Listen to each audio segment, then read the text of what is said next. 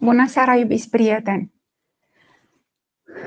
Bine v-am regăsit în această seară în care mi-am propus să spunem o poveste. N-am mai spus de mult povești de trezit adulții.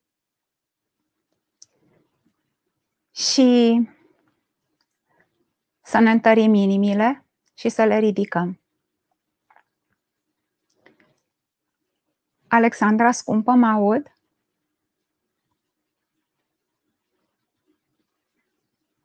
Mulțumesc frumos!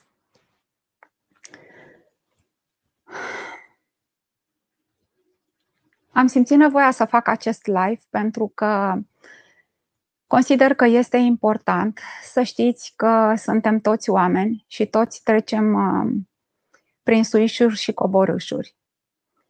Și că fiecăruia dintre noi îi este ușor sau îi este greu în diferite momente din viață. Și în aceste zile, în aceste vremuri, în aceste luni, în aceste clipe, este foarte important fiecare dintre noi și fiecare dintre noi poate contribui la împuternicirea celuilalt. Spuneam și sâmbătă, când am uh, susținut împreună cu doamna doctor Sorina Soescu un atelier de împuternicire, că iubesc acest cuvânt și îl folosesc cu conștiința faptului că are sens dublu. Eu vă împuternicesc pe voi și voi pe mine. Nu mi-a fost foarte simplu să aflu sâmbătă că Austria intră în uh, lockdown și trebuie să recunosc că au fost uh, două zile de zbatere interioară.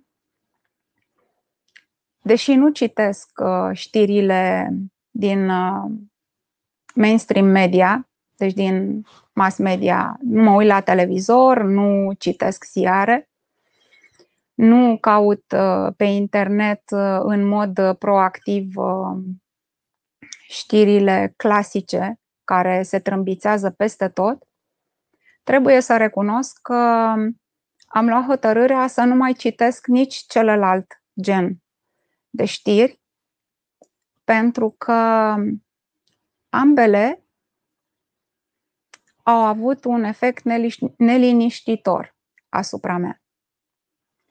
Vreau să vă povestesc întâmpla, adică situația prin care am trecut și cum am reușit să ies din ea, pentru că um, nu este un lucru neapărat simplu, dar se poate face și pentru că știu sigur că dacă n-a sosit momentul, va sosi un moment în care tăria noastră psihologică va fi uh, pusă la încercare și am uh, cumva senzația că toate clipele în care ne-am declarat credința în Dumnezeu, în uh, forța divină, în univers, în orice am declarat-o noi, indiferent ce nume i-am dat, toate acele momente s-au contabilizat și acum suntem chemați să facem dovada acelor declarații.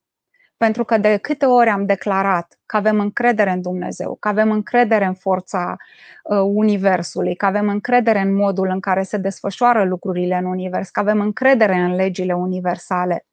De fiecare dată când am făcut o astfel de declarație, de fapt, e ca o declarație de avere. Declarăm că avem acel lucru, și anume credință, încredere nu mă refer aici și nu va fi o seară religioasă. Dar declarăm că avem încredere. Da? Încredere în legea universală a binelui. Încredere în legea adevărului, care va ieși întotdeauna la suprafață. Și în aceste clipe simt, poate, mai mult ca niciodată că suntem chemați să dovedim încrederea pe care am declarat-o. Am uh, citit și sunt sigură că mulți dintre voi uh, cunoașteți lucruri care sunt catalogate drept teorii ale conspirației sau care au fost catalogate teorii ale conspirației și care vedem că încep să prindă formă în practică, zi de zi, în diferite țări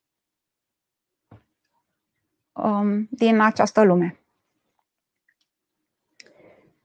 Am auzit uh, luni și declarațiile au ajuns la mine, probabil că trebuiau să ajungă ca să trec uh, testul sau să mă mobilizez să trec testul și declarațiile unei uh, persoane din uh, România, un politician, înțeleg că se ocupă cu Ministerul Bolii, care a spus că în procesul de rezolvare a acestei pandemii, prin metoda pe care și-o doresc de foarte mult și al cărei nume n-am să-l spun acum că nu doresc uh, să fie suspendat uh, filmul, așa cum uh, au fost, de exemplu, unele filme ale lui Călin, va fi implicată și armata. În același timp am auzit declarațiile oficialilor din Austria care au spus că odată cu acest lockdown s-au alocat și fonduri suplimentare pentru armată și poliție ca să poată sprijini.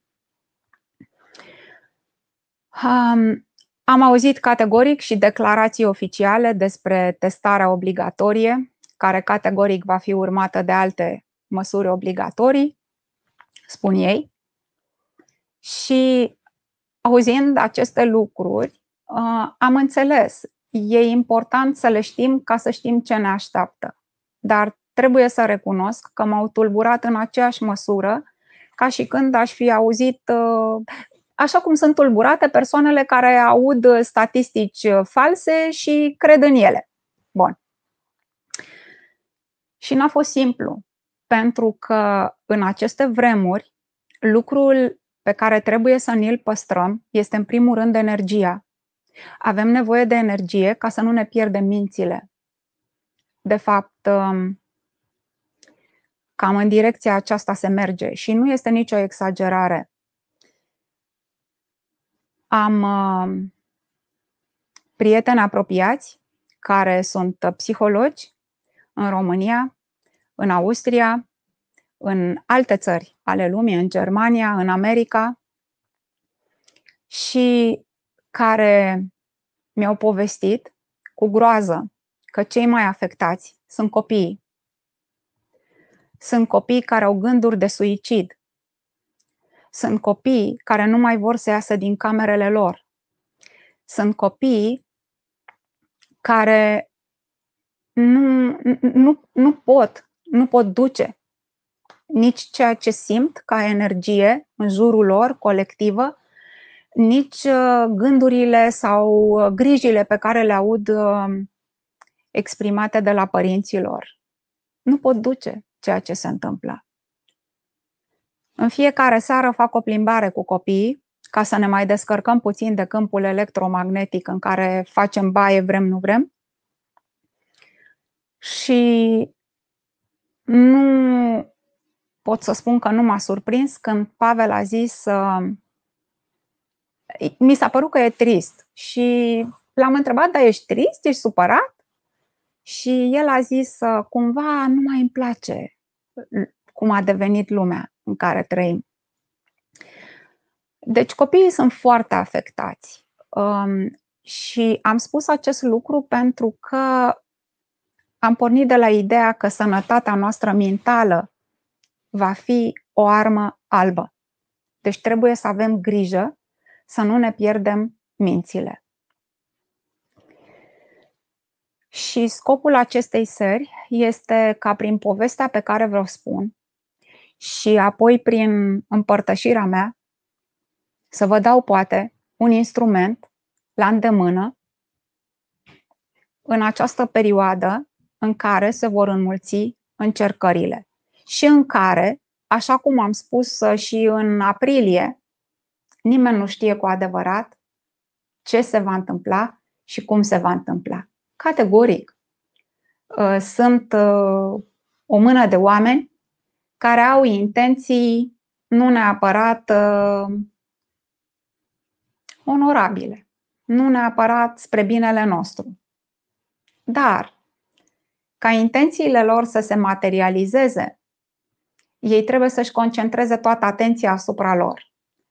Și baiul este că și noi ne concentrăm atenția pe intențiile lor, în loc să ne concentrăm atenția pe intențiile noastre, indiferent cât de greu este. Asta trebuie să facem. Trebuie să hrănim cu energia noastră intențiile noastre. Care este lumea în care vrem să trăim? Cum vrem să arate? Nu putem avea încredere în nimeni decât în noi înșine. Și ca să avem încredere în noi înșine, trebuie să rămânem puternici, trebuie să rămânem um, clari la minte, zdraveni la cap, cum se zice. Și luni, sub influența atâtor știri, uh, sub influența faptului că alte persoane pe care le urmărez, le stimez, um, le-am simțit clătinându-se, am ajuns foarte aproape de această graniță a mm, spaimei nebunești. Adică ce va fi? Și am văzut cum dincolo de această graniță rânja, rânjau efectiv la mine gânduri dintre cele mai sumbre. Și am conștientizat că sunt acolo și că n-am să trec. Povestea pe care am, uh, am uh, pregătit-o în această seară face parte dintr-o carte care se numește Trei zile de bunătate. Este o carte scrisă de Lenuța Neacșu, o doamnă care lucra ca uh, bibliotecară. Mi-am notat aici, uh, nu vreau să fac nicio greșeală, să recunoaștem autorul și editura Babel din Bacău. Cartea a apărut la editura Babel din Bacău și cuprinde 46 de povestiri numite de autoare povestiri pentru familie, povestiri cu uh, tâlc, cu morală creștină.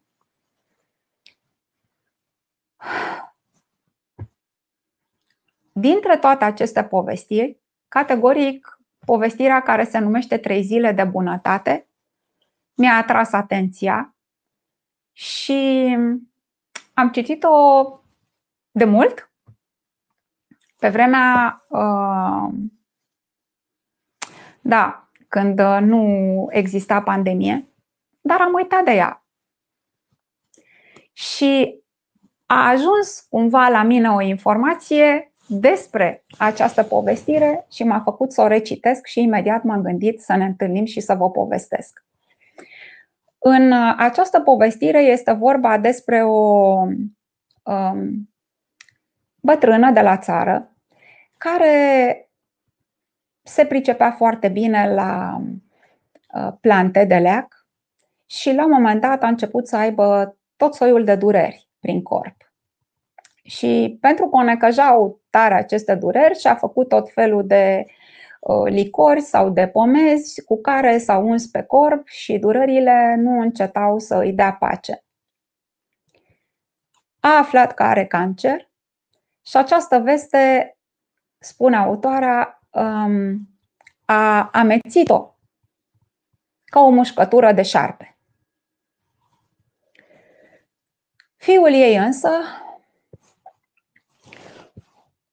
cu credință în uh, Dumnezeu, i-a propus să meargă la un postnic despre care auzise că se pricepe foarte bine la plante de leac și care făcea foarte multe vindecări. Zis și făcut, au mers la chilia lui, când au ajuns acolo, au ascultat vorba lui care era ca raza, ca umbra ca roa, ca lacrima. Și pusnicul a spus că boala pe care o are nu poate fi vindecată cu plante, ci cu apus de soare, cu cântec șoptit și cu râsete de copii. Atenție! Vă rog să nu lăsați mintea să se gândească a, e ușor de zis într-o poveste cum să vindeci cancerul cu apus de soare, cu zâmbete de copii și cu cântec șoptit.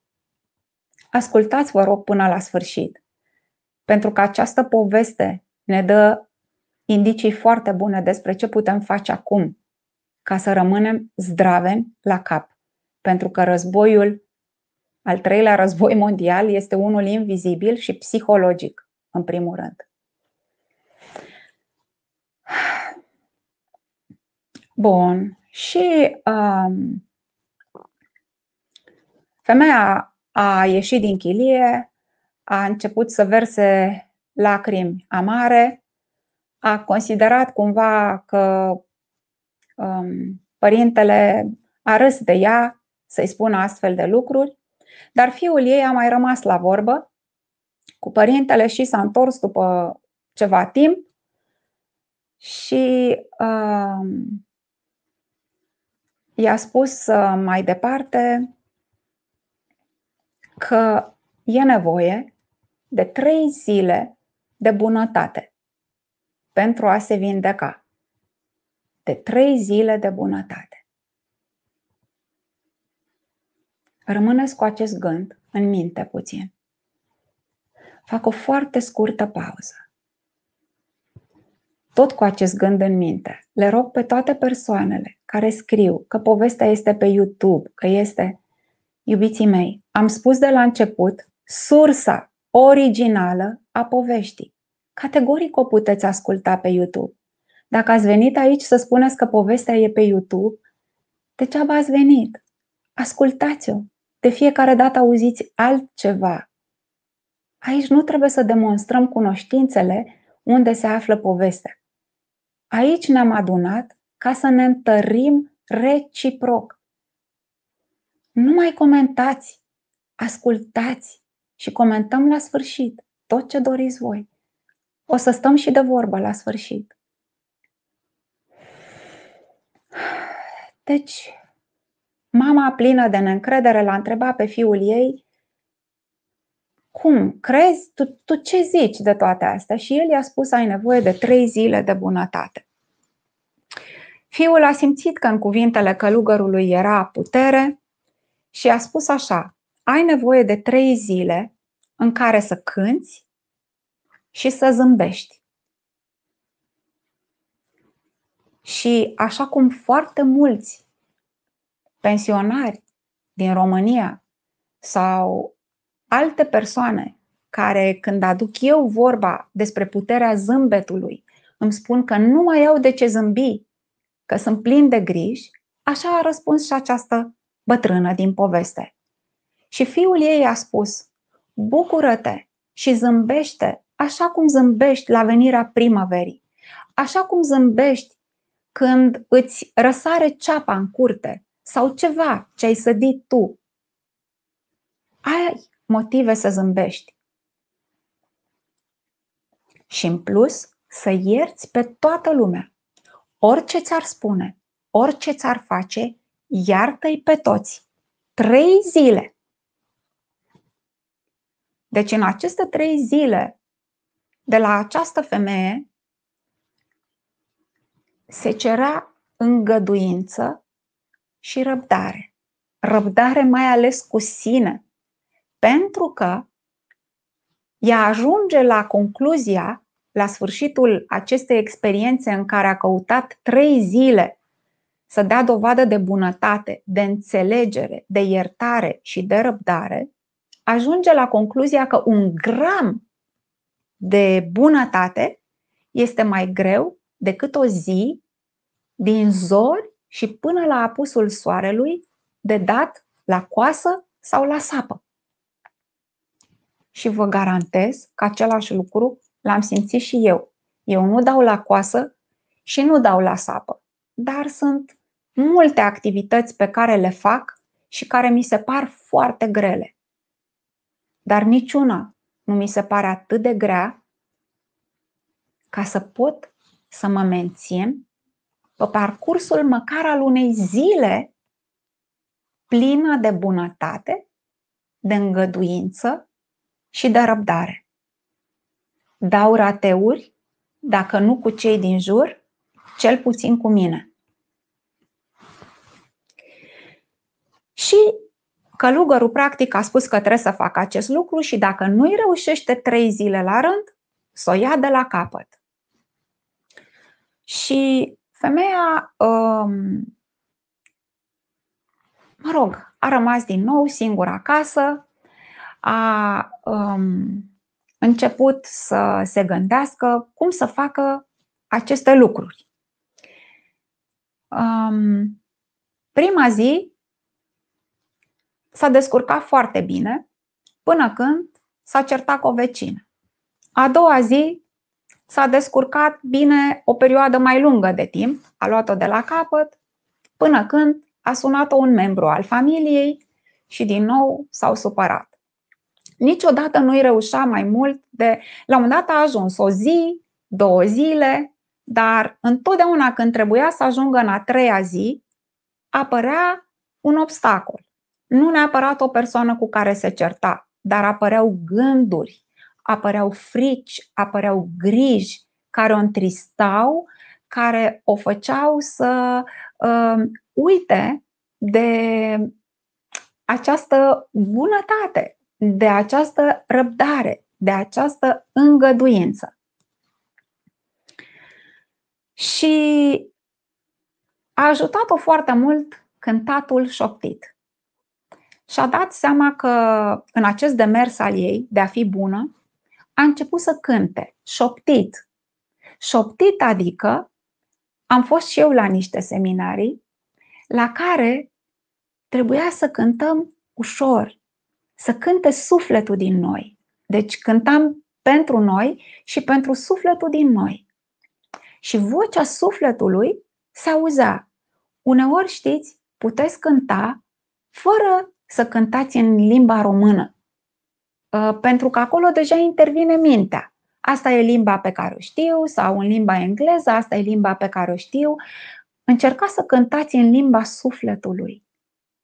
Sunt uh, foarte uh, mulți uh, uh, compozitori și artiști care cântă în limba sufletului. Unul dintre ei este Lex Van Someren, cu care am uh, înregistrat și eu CD-ul Copil iubit și multe dintre melodiile lui sunt în limba sufletului, adică uiți de tot și toate și cânți așa cum cântam când eram copii și ne jucam că vorbim limba păsărească sau Pavel a avut o perioadă în care, Pavel băiețelul meu mai mare, a avut o perioadă în care spunea că vorbește în limba paveleză. Spunea niște sunete așa, uh, n-aveau niciun sens, da? Deci cântați scoateți exact sunetele pe care le doriți, pe melodiile pe care le doriți voi, cântați șoptit. Această bătrânică, cântând șoptit, ah, și-a, și-a găsit puterea să traverseze toate momentele când fie cineva o enerva sau o provoca sau un gând o apăsa, o provoca deci a cântat șoptit și cântând șoptit și-a descoperit și uh, vocea ei, calități și a reamintit-o. A spunea că nici măcar nu realizase că are o voce încă atât de tinerească, atât de frumoasă. Și s-a gândit, ok, acum am văzut apus de soare, tot cântând, îi se împletea cântecul cu apusul de soare, am văzut apus de soare, am reușit să cânt șoptit cum fac rost de zâmbete de copil.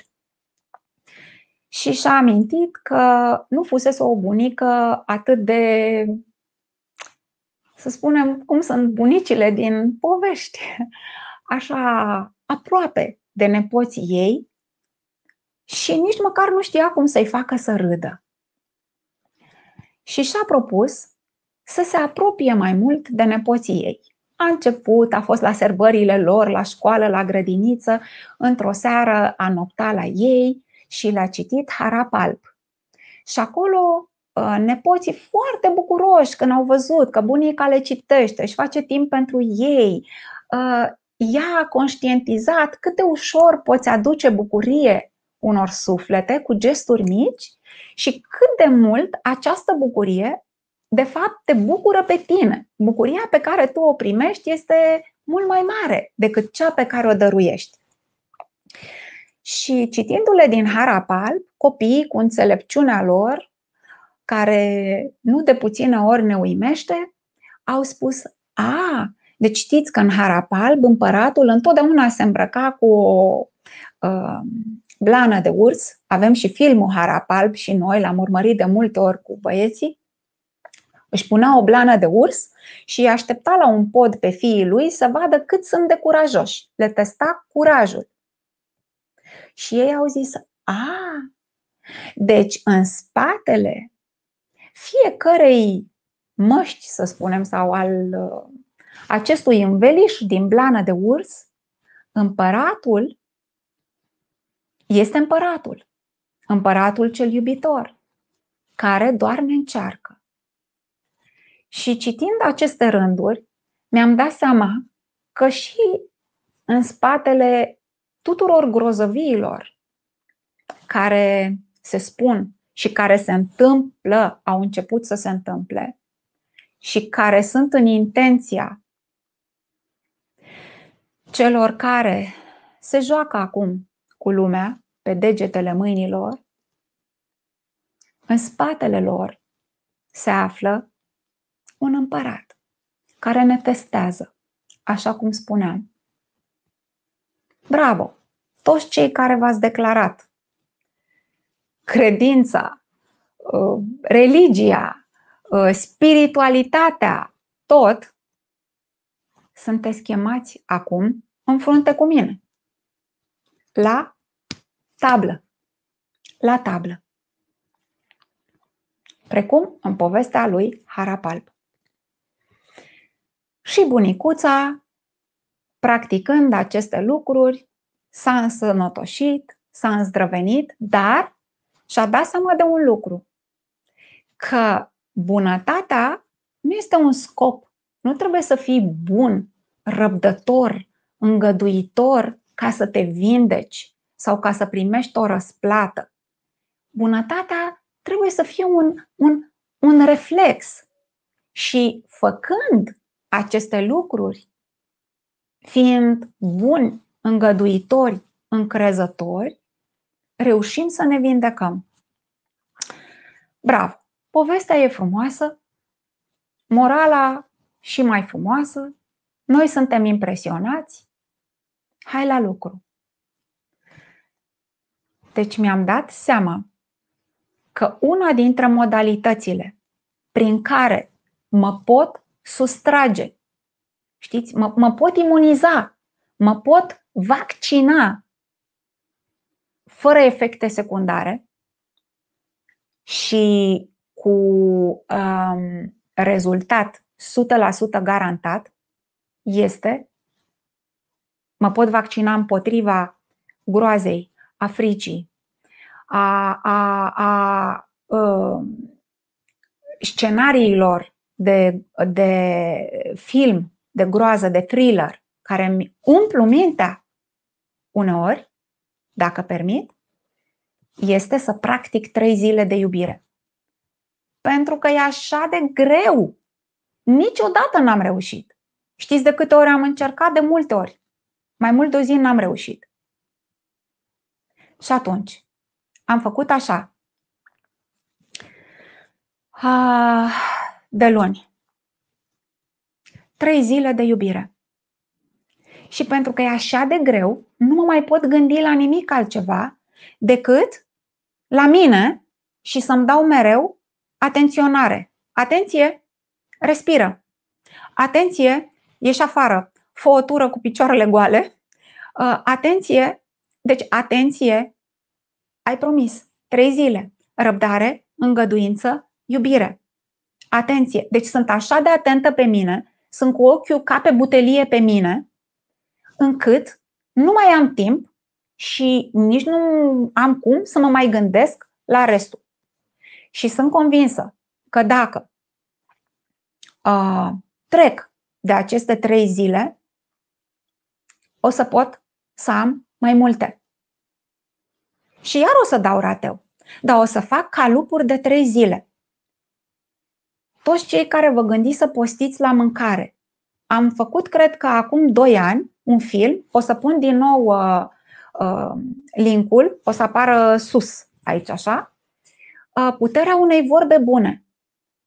Mă tot întreba lumea cum postești tu. Dacă ești vegană, tu ce mai simți din post? Că nu mai simți nimic. Lăsați-o încolo de mâncare. Țineți voi 40 de zile de bunătate. Că nici trei nu reușim. Exact ca bătrână. A zis un gram de bunătate e mai greu să-l obții și să-l dăruiești decât uh, o zi la coasă, la sapă sau altele. Da, Laura scumpă, răbdare, îngăduință, iubire. Mamă, ce grele sunt! Să vă spun, adică în condițiile în care copiii stau acasă, învățătorii dau uh, teme ca și când noi nu avem serviciu și trebuie să și mai dau și deadline-uri, deci termene limită, deci avem teme, dar și termene limită în care trebuie să le predăm. Dacă ai și mai mulți copii, uh, vă asigur că vă antrenați minunat cu trei zile de bunătate practicate cap-coadă. Ați dat rateu de la capăt. Am început și eu. De luni până azi am mai început o dată. Da? Că în timp ce făceam temele cu Pavel,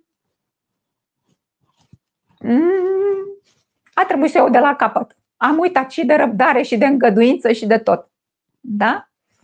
Deci, o să vedeți, ăsta antrenament, ăsta post și ăsta mod de a vă distrage de la toate lucrurile îngrozitoare care um, și eu cred că se pun la cale. Ele nu sunt uh, divine, dar sunt îngăduite divin pentru că suntem chemați la a demonstra tot ce am bla bla bla până acum. Știți cum? Așa cum au demonstrat martirii în închisorile comuniste, așa trebuie să demonstrăm noi în această închisoare uriașă, în acest lagăr care a devenit planeta noastră. Fiecare țară este o închisoare. Să nu poți tu să-ți vezi părinții. Să nu poți tu să-i îmbrățișezi să nu știi tu dacă și ce aduce ziua de mâine uh, din punct de vedere al unor lucruri uh, care ar trebui să se întâmple într-o societate care pretinde că are libertate. Deci, așa de mult vă mulțumesc tuturor care ați scris frumos.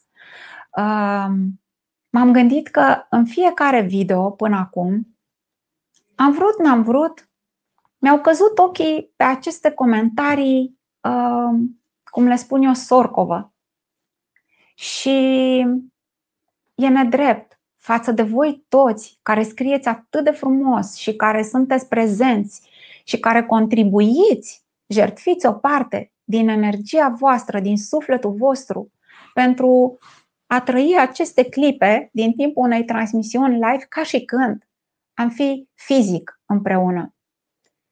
Și îi mulțumesc Alexandrei care moderează în această seară că uh, a acceptat să facă lucrul ăsta pentru că în acest fel putem să ne păstrăm uh, atenția într-adevăr pe lucrurile care trebuie să fie hrănite de atenția noastră. Deci, iubiții mei, um, trebuie să regândim modul în care abordăm lumea uh, exterioară și lumea noastră lăuntrică. Categoric se pun la cale niște lucruri pe care au început să le înțeleagă și copiii, și copiii. Categoric. Nu știm, nu știm cum vom ieși din asta. Dar știu așa, că tot ce ne-a fost îngăduit să știm până acum ne va ajuta să ieșim din asta. Da, hai, și ca să nu o luăm razna, când simțiți că o luați razna, chiar dacă ați închis televizorul, chiar dacă le-ați spus tuturor prietenilor care vă iubesc și care gândesc ca voi și care vă trimit mesaje de trezire, să zicem, uite de fapt ce se pune la cale. Știu ce se pune la cale, deja am spus, înțeleg și copiii ce se pune la cale. Uh, dar deja nu mai putem face uh, nimic decât doar asupra noastră și, adică, să rămânem calmi, să facem acest exercițiu. Ăsta e unul. M-a întrebat și cineva mai devreme, cum rămânem calmi? Păi faceți exercițiul ăsta. Stați cu ochiul pe voi ca pe butelie, să nu vă enervați, să iertați și să nu spuneți nimic. Orice v-ar spune cineva, orice v-ar face cineva, timp de trei zile la rând, indiferent că are dreptate, că nu are dreptate, că faceți lucrul ăsta. Deci, ă, ceea ce vă cer este ca și când v-aș cere ca trei zile la rând să faceți totul cu stânga, mâna voastră dominantă fiind dreapta. Pentru că, dintr-o dată, nu o să mai fiți, dacă o să încercați să mâncați cu stânga, nu o să vă mai uitați atât de mult la copil ce face, cum mestecă, ce mănâncă, cum mănâncă, dacă pătează, dacă nu pătează, o să fiți atenți la voi. Um, și dacă o să vă spălați pe dinți cu stânga, de exemplu, nu o să vă mai spălați automat și o să vă gândiți la uh, covrigi și coronițe. Uh, o să, când o să vă spălați cu stânga, o să vă gândiți la ce faceți. Da? Și o să-i dați o pauză nebunei care vrea să treacă granița. Deci nebună ne duce la nebun. Lăsați-o, maimuța. Deci nu, este o maimuță care ne face să trecem granița și dacă o trecem de multe ori, nu mai știm drumul înapoi. Bun. Da? Deci asta facem. Așa ne păstrăm. Ne dăm de lucru cu noi. Și înseamnă asta că ne și educăm mintea să proiecteze și să se gândească la lumea în care vrem să trăim. Adică, unii vor să se roage, alții vor să mediteze, alții, mai vă rog eu frumos, nu vă rugați să iasă X sau Y, sau să învingă X sau Y, sau nu, nu suntem în război de acest gen. Da? Deci noi nu are rost să, ne, să, să alimentăm o luptă. Noi ne rugăm să învingă adevărul. Noi ne rugăm să se întâmple uh, triumful binelui pe acest pământ. Asta ne rugăm. Nu ne rugăm ca neputincioșii, uh, așa cum spunea și Călin în uh, videoul, soțul meu Călin a făcut un video duminică și eu nu știu ce vorbește, ce înregistrează, decât în momentul în care le urc pe YouTube. Și mi s-a părut că l-a făcut pentru mine și cumva cred că l-a făcut și pentru mine, din iubirea lui uriașă, pentru mine și pentru noi ca familie și pentru țară ca familie mai mare, pentru că a simțit că mă clatin. Și a zis așa, în ziua de azi, rugăciunea este pe alocuri duhnește africă. Rugăciunea duhnește africă. Noi nu ne rugăm așa. Noi nu ne rugăm cu frică. Doamne, apără-ne de nenorocirile. Nu, că suntem oricum apărați. Suntem apărați. Tot ce se întâmplă, se întâmplă pentru că este permis și pentru că acum vrea să vadă și Dumnezeu. Ia să vă vă vitejilor, voi ăștia care v-ați declarat credincioși și spirituali și nu mai știu cum. Hai să vă văd! Hai să vă văd acum! Sunteți cu mine? Sau doar aprindeți lumânări, vă dați cu capul de ciment, uh, uh, nu știu, aprindeți bețișoare parfumate, vorbiți de spiritualitate sau de dogmă sau nu contează. Hai să vă văd! Hai, hai, rămâneți acolo, treci în voi, în centru. Mai ne și înclinăm, mai o luăm, da, hai înapoi, hai la centru. Și o modalitate este asta. Trei zile de bunătate, de iertare. Asta înseamnă bunătate. Să ierți, în primul rând, să fii îngăduitor, să nu mai decapitezi pe toată lumea, inclusiv pe tine. Să nu mai cauți greșeli, să nu mai cauți greșeli, să o faci, să nu mai cauți uh, partea aceasta negativă. Nu mai. Trei zile. Trei zile. Și cu copiii, și cu soțul, și cu soacra, și cu mama, și cu tata, cu toată lumea. Trei zile. Trei zile.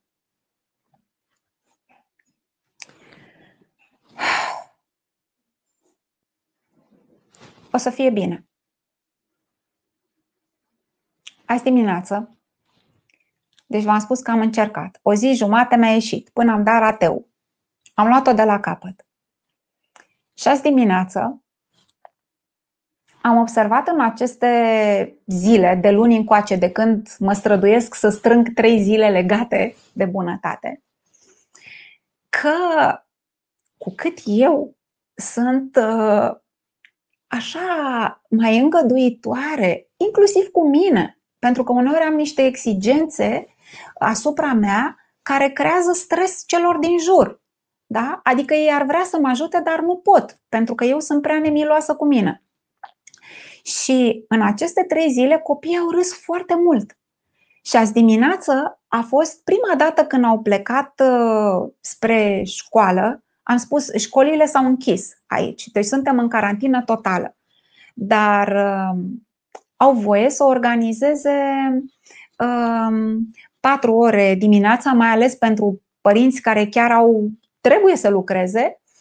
Uh, un fel de, cum să, deci de supraveghere. Da? Doar îi supraveghează și se strâng câțiva copilași cu un profesor și stau acolo. Se joacă foarte mult în aer liber uh, sau uh, își fac din lecții. Noi avem un mare avantaj că școala copiilor, fiind o școală Waldorf, nu permite la clasele primare lucru cu calculatorul dar trebuie să lucrez eu foarte mult cu calculatorul uh, pentru ei, să le printez, să le dau, să le. și atunci oricum mă obosește lucrul ăsta. Și copiii se duc dimineața, spuneam, la această supraveghere. Da, se mai întâlnesc și cu prieteni de-ai lor acolo, deci e foarte bine. Și azi dimineață a fost prima oară așa când uh, n-am fost stresați, nu ne-am grăbit, nu ne-am certat că hai că e târziu, hai lasă, hai concentrează-te, hai pentru că eu mi-am ținut gura. Deci mi-am dat seama că, de fapt, eu sunt capul răutăților. De câte ori și eu sunt capul binefacerilor. Deci, de câte ori eu știu să îmi controlez mintea și gura, um, cuvintele, uh, e bine sau e rău? Eu dau tonul. De la mine pornește totul. Eu sunt scânteia. Deci am înțeles am înțeles practic în lucrul ăsta și eu fiind așa în bună dispoziție și în încrezătoare și nemai gândindu-mă la toate lucrurile uh, la care vor alții să mă gândesc, am reușit să umplu casa de râsete de copii, exact ca în povestea noastră, iubiții mei. Râsete de copii. Și după ce au plecat dimineață, um, am plâns de bucurie pentru că mi-am dat seama uh, ce frumos ar fi ca într-o casă să se audă râsete de copii până când copiii pleacă de la noi de acasă. Mm, la noi se aud gângureli și râsete doar când sunt micuți uh, da? și când nu avem nicio pretenție de la ei. Apoi, uh, ați văzut cum când un copil se naște, am mai spus, îl iubim doar pentru că există te uiți la el și nu contează că a făcut pipi, că a făcut caca, că a răgăit, că a vomitat, că miroase, că nu Tu îl iubești, îl iubești doar pentru că există. Pe măsură ce cresc, ne pierdem din uh, toleranță, din îngăduință, din răbdare și își pierd și ei din zâmbete. Da, știu că nu e ușor, dar Mi-aduc aminte, acum vreo 2-3 ani, într-o seară, eram foarte obosită și i-am spus lui Călin, gata, nu mai pot. Și a zis, știi ce? N-ai voie să gândești așa. N-ai voie. Până când nu fac 18 ani, n-ai voie să gândești așa.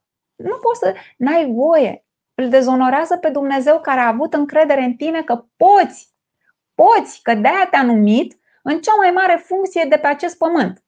Și anume, cea de mamă, cea de soție, cea de părinte. Că și tata e la fel.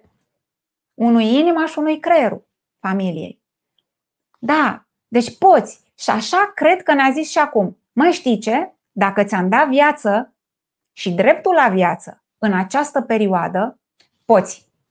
Înseamnă că poți. O să găsești modalitatea să ieși din orice situație. Poți. Și vreau să văd dacă ai încredere că sunt cu tine, că te iubesc, că ești în siguranță cu mine și că orice va fi, va fi bine. Va fi bine. Și dacă simți că nu mai crezi în lucrurile astea, ca să te distragi de la gândurile sabotoare, practică trei zile de bunătate. Trei zile de bunătate. Și facem o recapitulare din uh, filmul despre care v-am amintit, pe care l-am făcut în postul Paștelui, acum e postul Crăciunului, care se numea Puterea unei vorbe bune. Am să pun linkurile. Și acolo, um, morala uneia dintre poveștile adevărate, deci erau povești adevărate, uh, concluzia um, uneia dintre persoanele din aceste povești era că și-a propus ca învățătură de minte să vorbească în fiecare zi cu fiecare persoană ca și când ar fi ultima oară când o vede pe acea persoană. Poate pentru ea ultima oară, pentru cea care vorbea, sau pentru persoana cu care vorbea. Deci în aceste trei zile de bunătate, orice v-ar spune, orice v-ar face cineva, iertați. Iertați. În aceste trei zile, zâmbiți.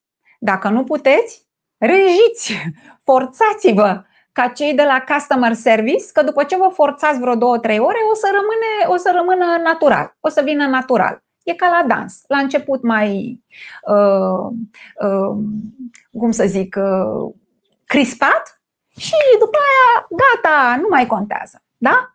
Așa și cu zâmbetul. Deci iertați, zâmbiți, cântați. Uitați de toți cei care v-au zis că nu aveți voce sau că trebuie să cunoașteți note. Cântați așa cum am cântat și eu când am făcut CD-ul Copil iubit împreună cu Lex Van Zomeren. Și în acele ore în care am cântat, m-am vindecat. Pentru că eu m-am dus acolo, la studio, să înregistrez, știind că sunt vocea a doua. Și el mi-a zis, tu o să cânti acum pe patru voci. Și noi o să facem un ecou din vocile tale. Și am spus, eu nu pot pe patru voci, că eu sunt vocea a doua. Și el a zis, tu știi despre vocea ta doar ce ți-au spus alții. Du-te afară, fă o tură în jurul blocului, uită tot ce ți-au spus alții, vino aici și lasă-te surprinsă. Și a ieșit ce a ieșit. Cântați, deci, ușor și vorbiți cu cei cu care vă întâlniți, oricine ar fi ei, ca și când îi vedeți ultima oară. Nici nu știm de fapt. Inclusiv dacă vă sună mama și vă întreabă ai fier fasolea 30 de minute sau 45, cum ți-am zis eu? Voi îi spuneți, da, mama, cum ai zis tu? Și la sfârșit ne zici, bine, pa, pa, pa. Îți iei la revedere de la ea ca și când ar fi ultima oară. Poate tu nu o să mai trăiești, poate ea nu o să mai trăiască, poate noi toți nu o să mai trăim. Nu știm. ce se întâmplă. Asta înseamnă să prețuiești clipa. Când prețuiești clipa, deci când îi dai valoare clipei, nu mai ai bani, adică energie și atenție de dat scenariilor din viitor. Și o să ne gândim, o să le trecem pe toate. O să le trecem. Habar n-am cum. M-a întrebat cineva, ce faci dacă vin la ușa ta, la, dacă nu te mai lasă, la serviciu, la ce faci? Nu știu. Știu doar atât. Că mă țin ca o nebună de picioarele lui Hristos. Și nu m-a trădat niciodată. Și e momentul să nu-l trădez nici eu. Și o să stau dreaptă pentru el, pentru voi toți, pentru copiii mei, pentru tot ce e frumos în această viață. Și așa să stați și voi, că împreună ne dăm putere unii altora. Și poate va veni un moment potrivit în care vom putea face ceva toți în masă. Și atunci vă aștept, fără frică, fără frică. Nu inconștienți, ci cu responsabilitate și cu încredere. Asta înseamnă încredere, credință. Închei cu o mică mărturisire. Spuneam că azi dimineață copiii au plecat și s-au umplut casa de râsete și de fiecare dată după ce pleacă, ca orice mamă, nu mă rog, așa, mi imaginez cum sunt uh, uh, înconjurați de îngeri păzitori, de uh, toate sufletele minunate și toate entitățile care există în această lume, în cer și pe pământ, și care uh, nu le vor decât binele. Și rugându-mă așa în aceste clipe, după ce ei au ieșit uh, din uh, casă, pur și simplu am avut ca o, uh, un flash, da? ca și când uh, am văzut o secvență dintr-un film. Și am văzut uh, satul în care locuim și care știți în Austria, satele sunt un fel de orășele, așa, un fel de orășele, da. Nu mai au pitorescul satelor românești. E frumos, dar nu e la țară cum e la țară în România. Dar am văzut acest orășel, să zicem, în care suntem noi. Deci exact o secundă a durat și eu știu că acela a fost momentul în care Dumnezeu mi-a dat uh, un semnal. Uh, pentru că, așa cum v-am spus, mă forțez și mă educ și mă disciplinez să îmi imaginez, să intenționez lumea pe care o vreau eu. Da? Nu ce se previzionează. Și am avut această uh, imagine în față pe care, nu știu, nu eu mi-am creat-o, poate a venit din subconștient sau din altă parte, în care uh, cumva se auzise, se demascase, se desconspirase toată această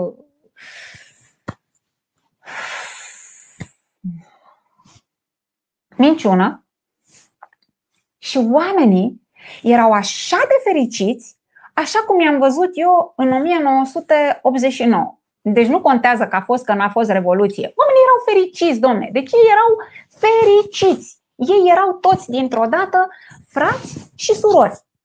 Și se îmbrățișau pe stradă. Și așa i-am văzut eu în această imagine cum se îmbrățișau aici pe străzi, dar erau setoși de o îmbrățișare și ziceau, nu conta că nu se cunosc. Cum se vedeau pe stradă, se îmbrățișau. Erau la magazin, se îmbrățișau. Era ca o, o eliberare. Acum putem să facem chestia asta. Ca, știți, copiii, când le dați voie să țipe și țipă vreo trei ore, după aia se liniștesc, se satură. Uh, ei ținut mult timp liniștiți și acum zici, bine, acum puteți să săriți, să țipați, să faceți ce vreți. Așa vedeam și eu acești oameni în flash-ul meu, cum dintr-o dată după ce au fost atât de ținuți departe unii de alții, uh, îmbotnițați, arestați la domiciliu, dintr-o dată li s-a spus nu, N-a fost adevărat, n-a fost, Doamne. Deci, uh, nu că n-a fost adevărat uh, virusul, Dumnezeule, uh, suntem compuși dintr-un microbiom, cum să nu fie? Sunt atâția, atâtea virusuri, atâtea bacterii, atâția microbi pe acest pământ. Problema e cum ne raportăm la ei. Deci a fost o minciună restul, știți? El, mititelul, a fost pretextul ca noi să fim în închisoare. Și uh, acești oameni erau atât de bucuroși că au căzut lanțurile, că au căzut zidurile închisorilor, încât se îmbrățișau într-una.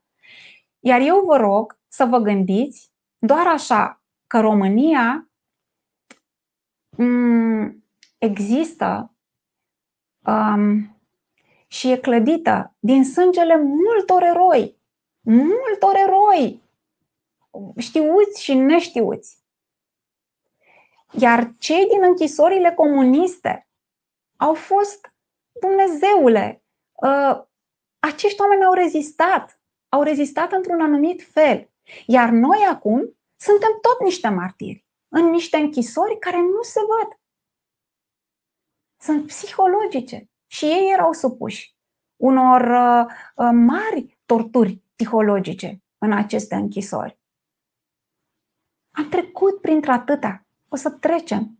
Și nu uitați, mi-a spus cineva așa că suntem o generație de sacrificiu. Nu suntem o generație de sacrificiu, nu. Sufletele noastre sunt așa de curajoase și au ales să trăiască acum.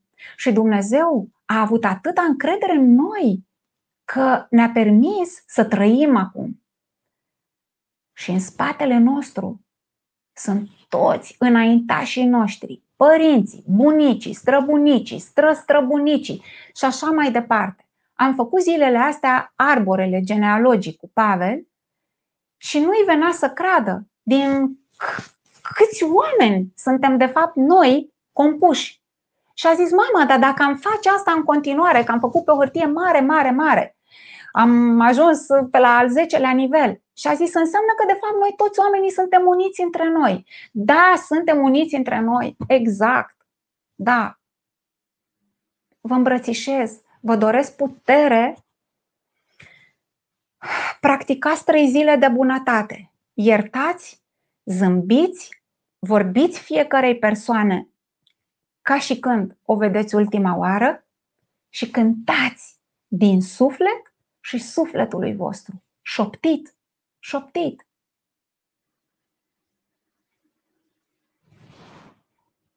Mă bucur mult că ne-am reîntâlnit. Vă îmbrățișez pe toți și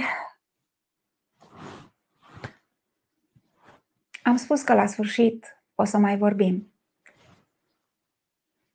Parcă n-ar mai fi multe de zis. V-aș lăsa să se aștearnă aceste cuvinte în acasa inimii voastre, așa cum s-a așternut și vorba părintelui în povestea Trei zile de bunătate de Lenuța Neacșu, ca raza, ca umbra, ca roa, ca lacrimă. Pe curând!